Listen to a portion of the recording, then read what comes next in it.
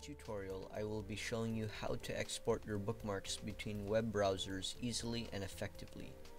To do this, open up your preferred web browser and type into the URL box the domain name displayed. Scroll down until you see the price plan chart displaying all of the options for all of the Transmute programs. You will notice that there are different amounts of coverage regarding file and bookmark transferring. For the purpose of this tutorial, we will download the installer for Transmute, located on the left side of the price plan chart. Click the first download button below all those checkmarks.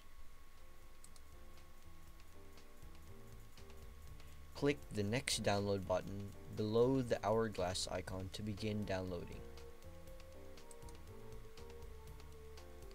Your web browser will probably ask you if you want to save or run the program. Click Save and wait for the download to complete.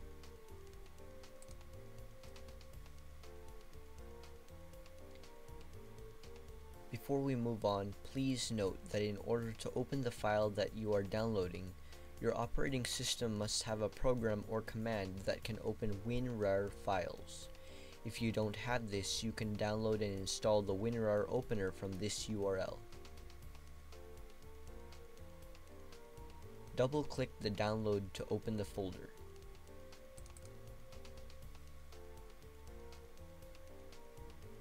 Then double-click on the file that reads transmutesetup.msi.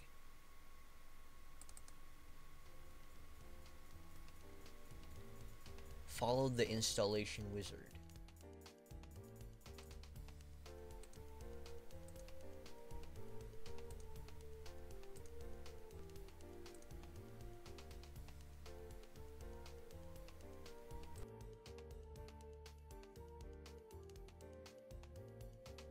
After you have finished downloading this file, open the program.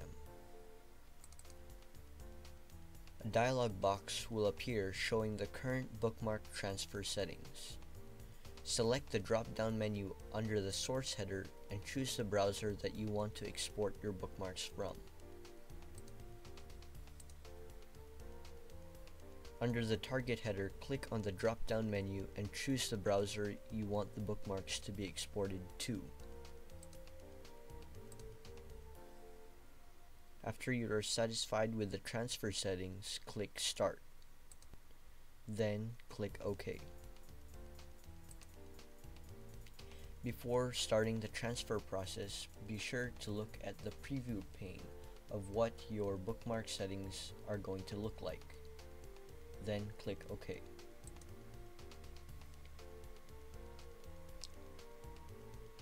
Overall, Transmute can be used repeatedly to update bookmarks and or files between browsers.